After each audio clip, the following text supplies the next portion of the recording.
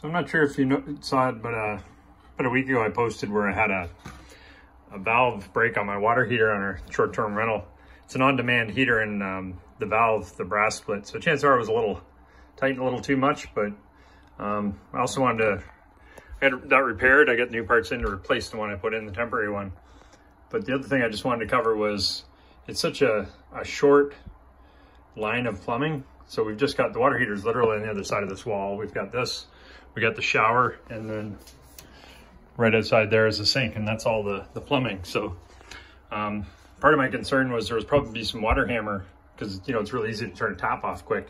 There's just nowhere in the system to absorb that extra amount. So I got some of these uh, mini arresters. Uh, they're like 10 bucks a piece. Put one on the hot and the cold line in the bathroom here, which is right inside the water heater.